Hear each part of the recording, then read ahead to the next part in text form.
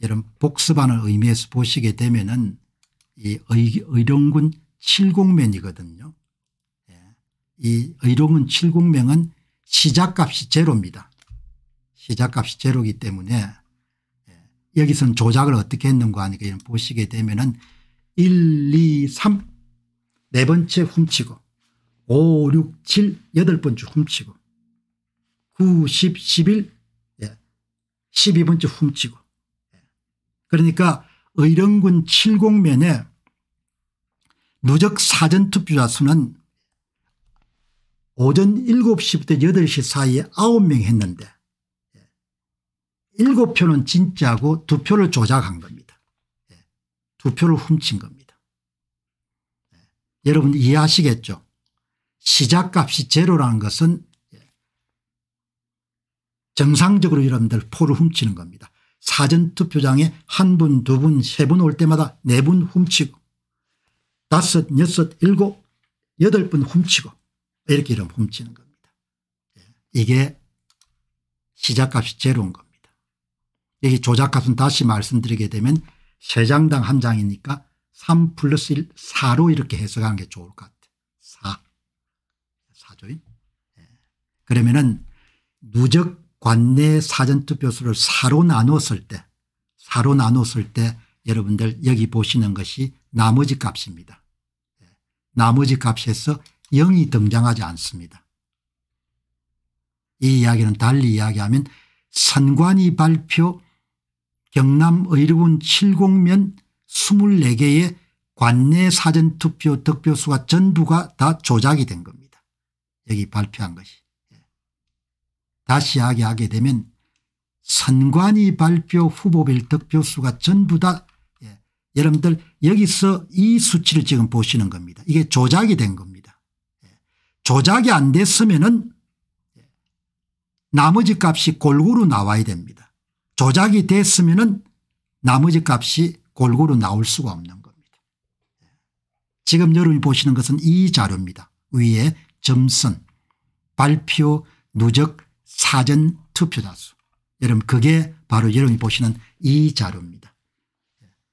흑보 영감님 고맙습니다. 여러분 이 보시기 바랍니다. 예. 이게 세 장당 한 장을 훔쳤기 때문에 여기에 나머지 값이 4로 누적 간내 사전투표에서 나눠주게 되면 은 차이값이 0, 1, 2, 3이 골고루 4개가 골고루 나와야 되는데 조작을 했기 때문에 0이 나오지 않습니다.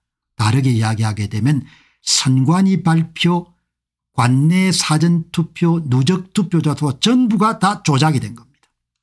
그럼 이 조작된 수치는 그림으로 어떻게 나타낼 수 있냐 예, 이 점선으로 나타낼 수 있는 겁니다. 점선으로.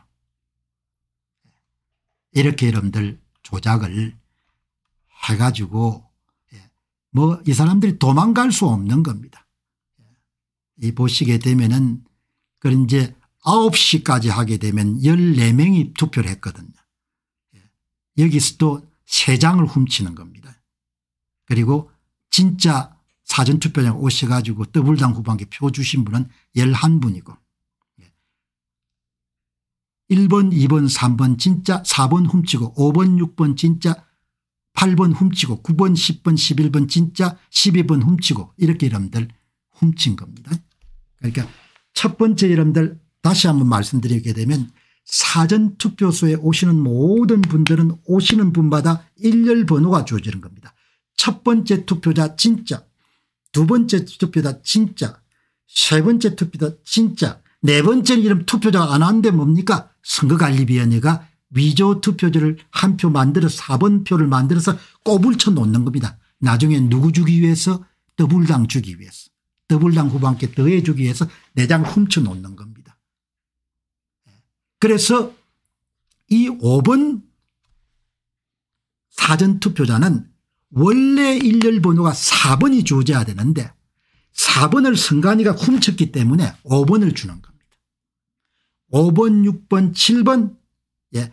원래 8번이 뭐죠 8번이 선관위가 가지면 안 되는데 8번을 선관위가 가지고 예. 9번을 9번을 받은 사전 투표자는 원래 8번이 주어져야 되는 거죠. 근데 8번을 선관위가 가져버리는 겁니다. 에라이 모르겠다 가져야 이렇게 하는 겁니다. 다 도둑놈이들입니다. 이렇게 여러분들 조작을 한 겁니다. 그러니까 의령군 7공면에 9시에 선관위가 관내 사전투표 누적자 수가 14명이라고 발표했는데 그 14명 가운데 실제로 11명은 진짜고 3표를 선관위가 더불당 후보에게 더해 주기 위해서 꼬불쳐 놓은 겁니다. 훔쳐 놓은 거죠. 이렇게 여러분들 정리를 한 겁니다. 음. 그래서 여러분들 한 번 더 정리하게 되면은 예, 여기 보시게 되면은 시골 총부의 사전투표 분석의 핵심 포인트는 표를 넣어주려면 선거인수를 부풀려야 된다는 거죠. 선거인수를 부풀리기 위해서 사전투표 양일 사이에 사전투표에서 오는 사람을 모두 다 일렬 번호를 부여한다는 거죠. 그 부여하는 일렬 번호 중에서 일부를 선관위가 가지는 거죠. 사전투표소에 오지 않았는데 그걸 가져가 여러분들 선거인수를 부풀리는 겁니다. 1번 진짜 2번 진짜 3번 진짜 4번 예 가짜 만들어서 훔치고 4번 진짜 5번 진짜 6번 진짜 8번 여러분들 가짜 유령 사전투표 만들어 훔치고 이렇게 만드는 겁니다. 그래서 표에 손을 대지 않으면 마지막에 조작값이다 여러분들 24개의 누적 관내 사전투표 득표수를 나누기를 하게 되면 0, 1, 2, 3 조작값 4인 경우에 네 가지의 나머지 값이 골고루 나와야 되는데 그렇게 하면 조작이 안 되는 겁니다. 그런데 조작을 하게 되면 그게 예, 4개가 안 나오는 게 아니고 3개만 나오고 1개가 안 나오는 겁니다. 1개가 예, 안 나오고 1개가 안 나오게 되면 선관위 발표 누적 관내 사전투표 득표수가 전부가 다 조작이 된 것을 뜻하는 것이죠. 그리고 그 조작은 상식적으로 볼 수가 있습니다. 네 번째 조작 여덟 번째 조작 열두 번째 조작 열여섯 번째 조작이기 때문에 4 곱하기 1 4 곱하기 2 4 곱하기 3 4 곱하기 4 4 곱하기 5입니다. 행렬수열이라고 이렇게 하죠. 4씩 늘어나게 되는 겁니다. 숫자를 만지게 되면 투표에 있는 모든 숫자들 후보별 득표수 사전투표자 수 선거인 수 모두가 다 자연수가 돼야 되는 겁니다. 어떤 종류의 규칙도 찾아낼 수가 없어야 되는 겁니다. 난수가 돼야 되는 거지. 랜덤 넘버가. 그러나 선거관리위원회가 선거에 개입해 가지고 전산 프로그램 이용해 가지고 득표수를 제조 생산 발표했기 때문에 뭐가 걸려드는 겁니까 예. 규칙성이 찾아지는 겁니다. 4 곱하기 1 번째 투표자 8 예. 곱하기 1 4 곱하기 2번 투표자 4 곱하기 3번 투표자 예. 그렇게 규칙이 찾아지는 겁니다. 규칙이 찾아지게 되면 바로 덜미를 잡히는 겁니다. 모든 선거 조작은 득표수 조작이 선행돼야 됩니다. 득표수 조작은 규칙을 사용해야 되고 규칙은 숫자에 고스란히 남아가 숫자의 규칙성으로 드러나게 되는 겁니다. 그렇기 때문에 대법원의 대법관들하고 뭐 형님 좋고 아우 좋고 누이 좋고 매부 좋고 해가 다 덮을 수는 있습니다. 그리고 윤 대통령하고 사바사바 해가지고 다 덮을 수가 있습니다. 그러나 그대들이 덮을 수 없는 것은 숫자를 건드린 증거입니다. 숫자는 모든 선거 숫자는 자연수 난수 랜덤 남부수 무작위수가 돼야 되는 겁니다. 그걸 건드렸기 때문에 4 곱하기 1 4 곱하기 4 곱하기 3 4 곱하기 4 4 곱하기 5 5 곱하기 1 5 곱하기 5 곱하기 3 이런 수치를 만들어낸 겁니다.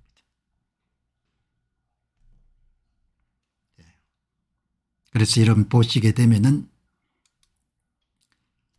선거인수 집계표상에 나타나는 모든 숫자 24개의 사전투표 누적 득표수의 나머지 값에서 특정 숫자가 나타나지 않는다면 조작값을 이용하겠다고 결론 지을 수가 있고 예, 조작하는 경우에는 4번 8번 10번을 여러분들 다 훔쳤으면 은 그러면 은 나머지 숫자가 제로가 나오지 않고 그리고 행렬 수열이 나올 수가 없다는 겁니다. 행렬 수열이. 그러니까 여러분이 보시도 다 이름 조작한 것처럼 보이지 않습니까 4 곱하기 1 4 곱하기 2 4 곱하기 3이 어떻게 나오냐 이야기죠. 경기도처럼 여러분 내장당 한 장을 훔치기면 5 곱하기 1 5 곱하기 5 곱하기 3이 어떻게 나오냐 이야기죠. 이렇게 여러분들 딱 정리를 하시면 좋겠습니다.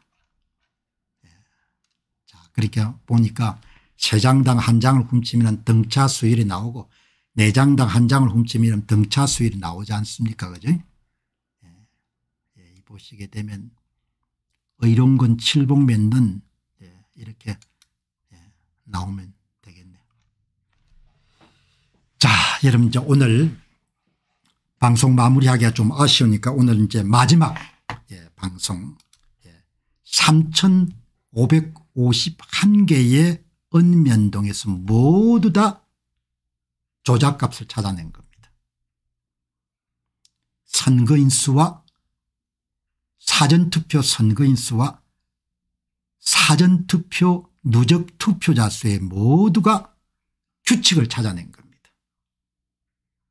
선관위가 발표한 사전투표 선거인수 3551개의 은면동의 사전투표 선거인수 사전투표 투표자도 전부 다 조작이 된 겁니다.